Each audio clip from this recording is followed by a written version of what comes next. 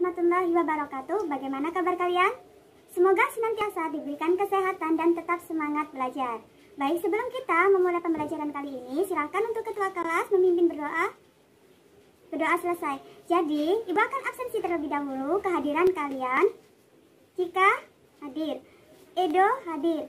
Alhamdulillah, kali ini semuanya hadir dan mengikuti pembelajaran.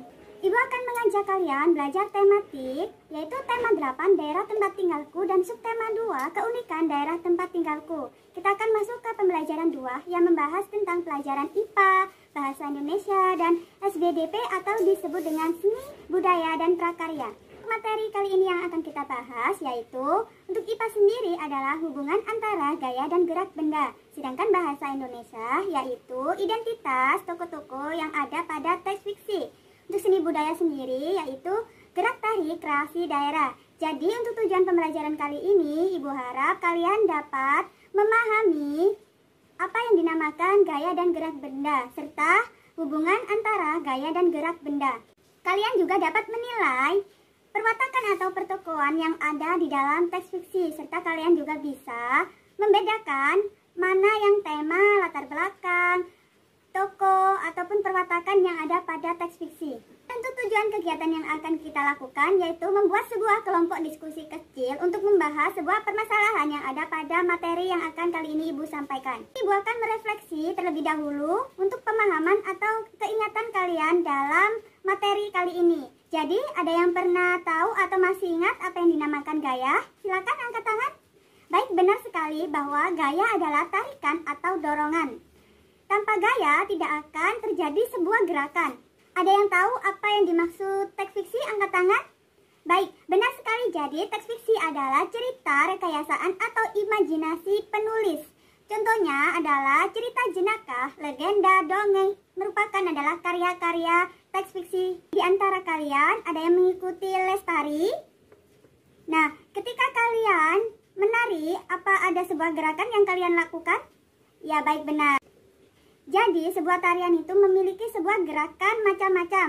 Salah satunya adalah gerakan bagian kepala, gerakan bagian tangan, gerakan bagian kaki.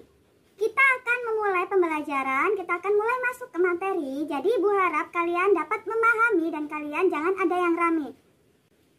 Ibu akan menampilkan sebuah PowerPoint. Ibu harap kalian memahami dan mendengarkan dengan cermat. Baik, di sini Bu Guru akan mulai menjelaskan. Jadi, apa sih yang dinamakan gaya? Gaya adalah dorongan atau tarikan yang dapat memengaruhi keadaan suatu benda. Contoh gaya berupa dorongan yaitu adalah mendorong meja. Yang kedua yaitu mendorong mobil yang mogok. Bisa kalian lihat pada gambar berikut. Ada juga gaya berupa tarikan, contohnya adalah anak menimba air yang ada di sumur. Yang kedua yaitu anak-anak sedang bermain tambang atau tali tambang. Ada yang masih ingat apa saja macam-macam gaya? Jadi, Ibu akan mengingatkan lagi macam-macam gaya adalah gaya otot. Gaya yang dihasilkan oleh tenaga otot. Contohnya adalah kita menarik atau mendorong meja. Yang kedua yaitu gaya gesek. Contohnya bekerja pada rem sepeda, gaya yang bekerja pada rem sepeda. Ketiga, gaya magnet, yaitu tarikan paku ketika didekatkan dengan sebuah magnet. Yang keempat yaitu gaya gravitasi. Tentunya kalian pernah melihat buah jatuh dari atas pohon. Yang keempat yaitu gaya pegas. Dihasilkan oleh sebuah gaya yaitu pada saat kita bermain ketapel. Yang kelima, eh, keenam, gaya yang dihasilkan oleh kerja mesin. Misalnya gaya yang dihasilkan oleh kerja mesin derek atau juga kerja motor pada mesin kendaraan. Kita mulai masuk ke pengertian gerak. Apa sih yang dinamakan gerak? Gerak adalah perubahan tempat atau posisi benda dari tempat asalnya karena adanya suatu gaya. Contohnya yaitu adalah ketika kita berjalan. Yang kedua, ketika kita mengendarai mobil. Jadi mobil ini bergerak dikarenakan gaya pegas. Antara gaya dan gerak ini adalah saling berkesinambungan. Jadi tidak ada gaya, pasti tidak akan ada gerak. Begitupun sebaliknya, untuk pengaruh hubungan gaya terhadap suatu benda dapat mengakibatkan benda diam menjadi bergerak. Contohnya adalah ketika kita menendang bola. Yang kedua yaitu gaya juga dapat memengaruhi benda bergerak lebih cepat atau lebih lambat. Yaitu ketika kita mengendarai mobil yang berjalan.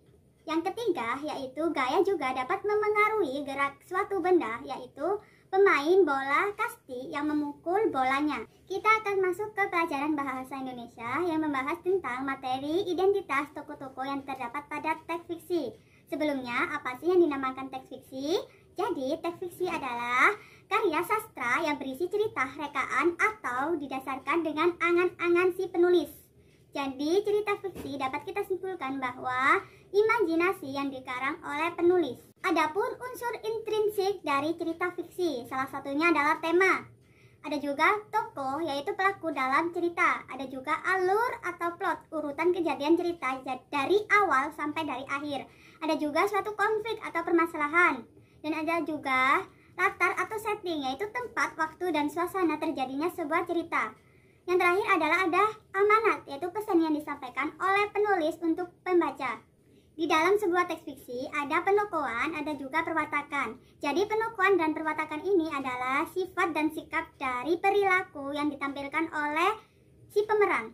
Berikut ini adalah cerita kelinci dan kura-kura. Jadi ibu akan menceritakan sebuah cerita fiksi yaitu berjudul Kelinci dan Kura-Kura di mana di sebuah hutan ada beberapa hewan salah satunya adalah kelinci dan kura-kura. Kelinci ini memiliki sifat yang amat sombong karena kelinci dapat berlari dengan cepat. Sedangkan si kura-kura ini bersifat sangat baik karena e, si kura-kura memiliki kelebihan ataupun kekurangan di mana dia tidak sombong menyombongkan diri. Si kura-kura ini sangat berjalannya sangat lambat. Di suatu hari, kelinci ini sedang menantang beberapa hewan yang ada di hutan. Salah satunya juga kura-kura. Namun, hewan-hewan yang lain tidak menerima tantangan dari kelinci. Sedangkan si kura-kura menyetujui tantangan yang diberikan oleh kelinci.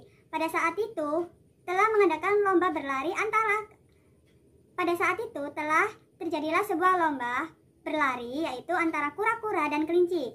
Ketika itu kelinci berlari amat sangat kencang. Ketika men hampir mencapai finish, si kelinci berteduh di bawah pohon sampai tertidur pulas. Dan akhirnya si kura-kura tetap berjalan mengapai finish. Ketika mengapai finish, si kura-kura disoraki oleh teman-teman yang berada di hutan. Si kura-kura menang dan akhirnya si kelinci pun terbangun.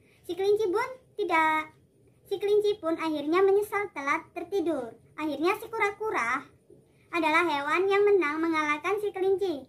Jadi dapat kita simpulkan bahwa cerita ini merupakan cerita fiksi di mana kita tidak boleh memiliki sifat sombong karena setiap seseorang ataupun hewan memiliki sifat kekurangan ataupun kelebihan yang dimiliki dalam dirinya.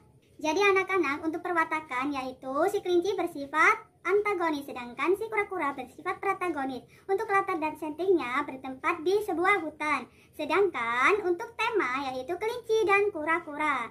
Untuk amanat yang disampaikan oleh si penulis, alangkah baiknya kita tidak memiliki sifat sombong, karena seseorang memiliki kelebihan dan kekurangan masing-masing. Di sini ibu akan menjelaskan ke kalian bagaimana caranya kita menilai identitas tokoh pada cerita fiksi. Yang pertama, kalian harus baca dengan baik dan benar peran tokoh dalam cerita tersebut. Yang kedua, tentukan sifat yang sering ia lakukan.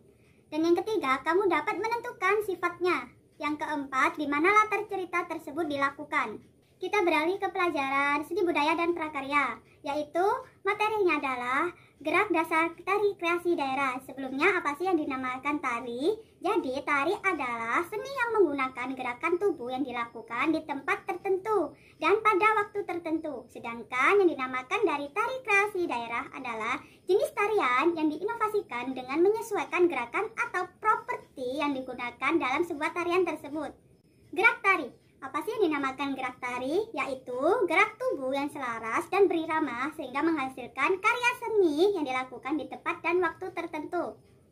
Ada juga macam-macam gerakan tari. Salah satunya adalah gerak tari klasik, yaitu gerak tari yang menggunakan gerak murni. Ada juga gerak berpasangan dilakukan biasanya dua orang penari.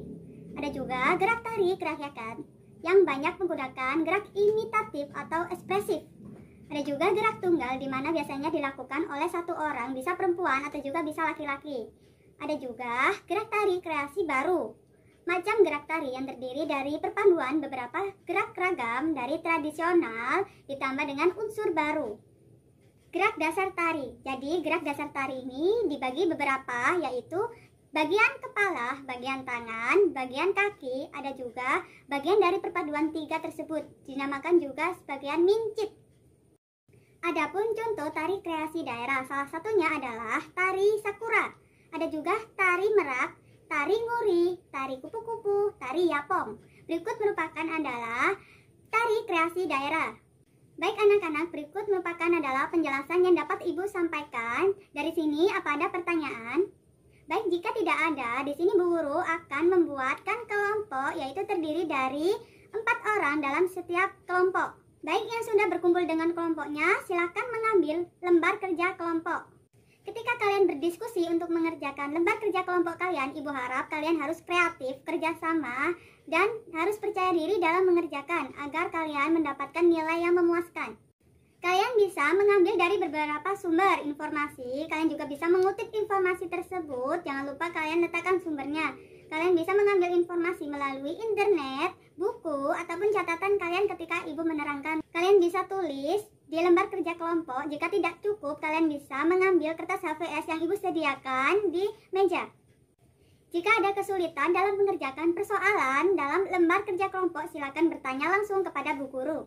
Di sini Bu Guru akan memberikan kalian waktu sebanyak 20 menit. Silakan kerjakan mulai dari sekarang. Apa sudah ada yang selesai? Silakan maju. Baik, kelompok A silakan maju nanti akan diikuti oleh kelompok B dan C. Ibu harap untuk kelompok lain atau anggota kelompok, kalian mencatat poin-poin penting yang telah dipresentasikan dari kelompok A dan jangan lupa kalian bertanya dan menanggapi hasil presentasi dari kelompok A. Di sini Bu Guru akan mengevaluasi lagi dari hasil presentasi kelompok A bahwa benar sekali gaya adalah tarikan ataupun dorongan pada suatu benda. Salah satunya contohnya adalah gaya berupa dorongan, ada juga gaya berupa tarikan. Sedangkan gaya berupa dorongan adalah ketika kita mendorong meja. Dan yang kedua adalah gaya berupa tarikan di mana ketika kita tarik tambang pasti di situ terdapat gaya berupa tarikan di mana adanya gaya pasti adanya suatu gerak benda. Dan untuk lembar kerja kelompok mengenai identitas yang terdapat pada teks fiksi dalam lembar kerja kelompok tersebut Sangat benar sekali bahwa di situ ada juga toko, ada juga tema, latar setting, ataupun amanat yang disampaikan oleh penulis untuk pembaca. Di sini Bu Guru akan memberikan sebuah penghargaan bagi kelompok yang presentasinya tadi bagus. Silakan maju untuk kelompok A. Tepuk tangan. Sedangkan Ibu akan juga memberikan sebuah penghargaan bagi siswa yang aktif dalam mengikuti sebuah diskusi kelompok. Silakan maju untuk Adi. Baik, Baik anak-anak, sampai sini apa masih ada pertanyaan atau ada yang ditanyakan? Siapa yang masih belum paham silakan. Jika sudah, Bu Guru akan mengakhiri pembelajaran kali ini. Silakan untuk ketua kelasnya dipimpin untuk berdoa. Baik, Ibu akan akhiri pembelajaran kali ini. Wassalamualaikum warahmatullahi wabarakatuh.